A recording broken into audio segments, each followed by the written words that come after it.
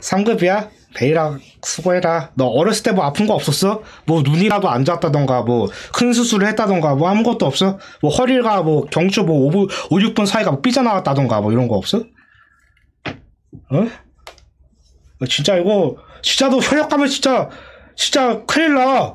내가 진짜 진짜 큰일 나 근데 아니 진짜 아니 내가 큰일 나는 거 아닌데 진짜 이- 내가 4일밖에 안 갔다고 했는데 너 진짜 동정심이 생기고 진짜. 너무 힘들어. 수정체가 찌그러져 있었나? 어렸을 때 시력이 안 좋았다. 아까 시력이 안 좋은 게 그냥 안 좋은 게 아니야. 그 교정 시력이 안 좋아야 돼 교정 시력이. 자 교정을 했는데도 안 좋아야지 눈공이 가능해 그게. 그냥 안 좋은 걸로 안 되고. 그냥